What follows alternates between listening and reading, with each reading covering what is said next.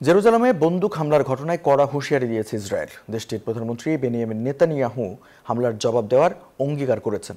যদিও প্রধানমন্ত্রী বেনিয়ামিন নেতানিয়াহুর পদত্যাগের দাবিতেই বিক্ষোভে উত্তাল হয়ে উঠেছে। অনেকেই বলছেন নেতানিয়াহুর বিচার ব্যবস্থা সংস্কারের কারণে এমন সন্ত্রাসী হামলা আরও বাড়বে। বিস্তারিত মাসুদ রানার ডেস্ক রিপোর্টে। গেল কয়েক বছরের মধ্যে বন্দুক হামলায় হতভম্ব ইসরায়েলিরা। সেই সাথে পূর্ব জেরুজালেমে নিহত পরিবারে বইছে শোকের মাতম।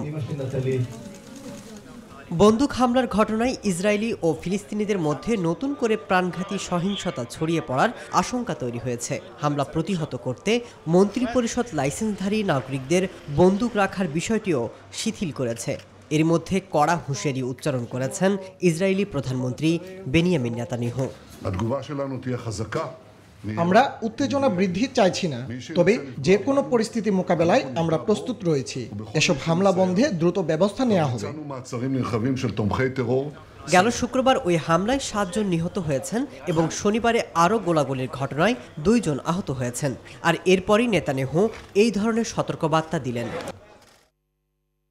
এদিকে বিচার ব্যবস্থা সংস্কারের প্রতিবাদে এবং নেতানিহুর পদত্যাগের দাবিতে গেল কয়েক সপ্তাহ ধরেই বিক্ষোভে উত্তাল ইসরায়েল। শনিবারে ইসরায়েলের জাতীয় পতাকা হাতে নেতানিহুর পদত্যাগের দাবিতে বিভিন্ন স্লোগান দেন বিক্ষোভকারীরা. ফিলিস্তিনি এবং ইসরায়েলি উভয় নাগরিককে রক্ষা করার জন্য আমরা এখানে এসেছি।